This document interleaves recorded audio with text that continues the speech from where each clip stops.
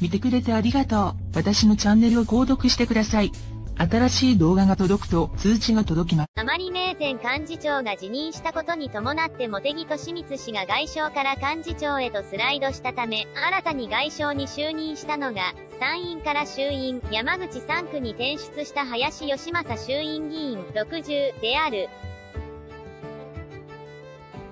政治部デスクが言う、茂木さんの幹事長就任が決まった後、外務大臣候補に林さんの名前が挙がったのですが、一度立ち消えとなってしまったんです。なぜなら、あの人が反対したらしく、安倍晋三元総理とその周辺です。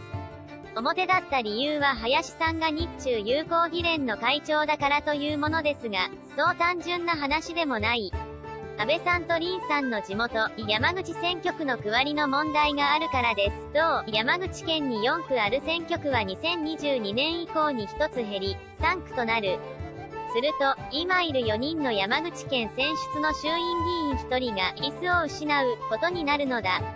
地元の県議は、現状ですと、1区の高村正宏さんと林さんがその候補となります。しかし、林さんが外相になり、将来の総裁候補となれば、山口に泊まることになるでしょう。岸田総理は安倍氏の意向を聞き入れず、その際、不都合が生じるのが安倍氏である。地元政界関係者が言う、林さんの父、林義郎元衆院議員の地盤は安倍さんの山口4区にある下関でした。それが96年、小選挙区制になった時に安倍さんが選挙区から立候補することになり、吉郎さんは比例に回りました。しかし、安倍さんには今後継者がいません。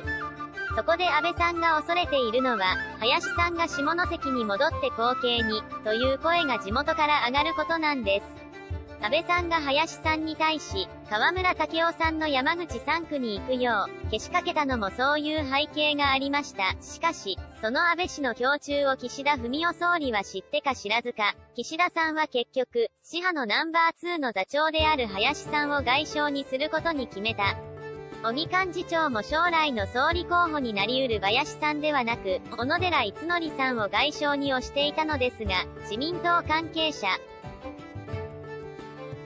林氏に聞くと、岸田政権をしっかり支えていきたい、と、優等生的回答。その林氏を起用した岸田総理は官房長官、幹事長に萩生田光一氏や高市早苗氏を、という安倍氏の意向も聞き入れず、今回も忖度、忖度、することはなかったのだ。岸田さんは衆院選でも事実上の勝利を手にし、26ペソも経て自信を深めている。確かに安倍さんは今後、最大派閥、最大派の領袖となり、高市早苗さんを総裁候補とするでしょう。高市総理就任を阻止するためのつばぜり合いがすでに始まっているのです。先のデスク、週刊新潮。2021年11月18日号掲載。新潮社。